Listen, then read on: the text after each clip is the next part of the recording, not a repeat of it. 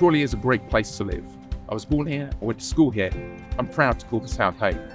Yet after 14 years of Conservative government, families across the town are struggling and our public services are standing on the brink of collapse. I'm running in this election because we need real action at the national level to deal with the challenges we face locally, starting with the town's five most urgent priorities. To ensure families can make ends meet, we need economic growth. If the tool was to deliver the same rate of economic growth under the last Labour government, families would be £8,000 better off right now. Labour's Green Prosperity Plan is the only plan out there which can deliver this growth we need to put money back into families' pockets. Over 53,000 people are currently stuck on NHS waiting lists in our area. Our cancer waiting times are the worst in the country. Labour will restore the 18 week waiting limit by recruiting thousands more doctors and nurses. We need to make Crawley Street safer again. Just 6% of crimes in Crawley result in someone being charged.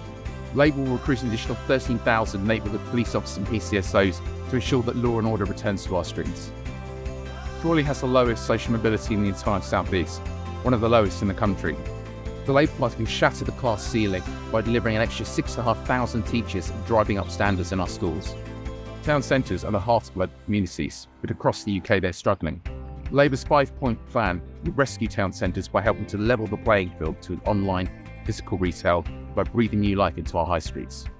My name's Peter Lamb, and together we can build the future that Crawley deserves.